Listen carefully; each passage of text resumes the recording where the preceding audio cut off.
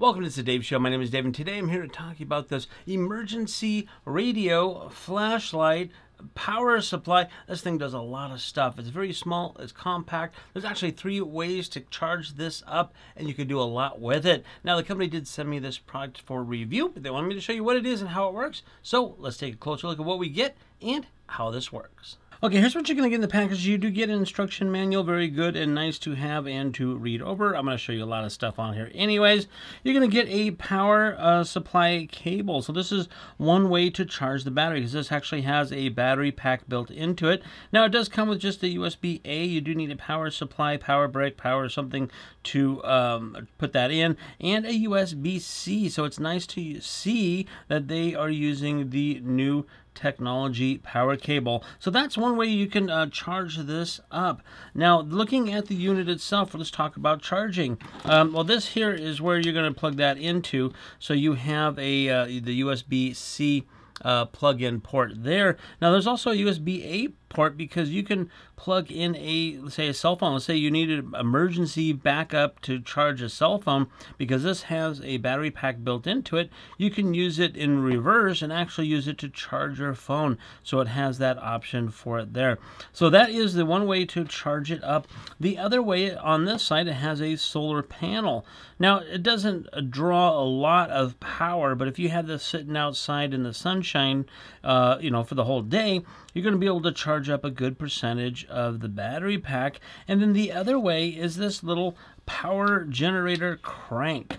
So this flips up here. It's got a little handle on it. And you're just going to charge it up. Now you've probably seen flashlights like that and that so forth, so on and so forth. This little charger, so it's got its own little generator battery pack. So if you have no sun, you have no power, um, and you need to charge this up, you still can, which is really cool. Also looking here at the Mac, you've got your antenna.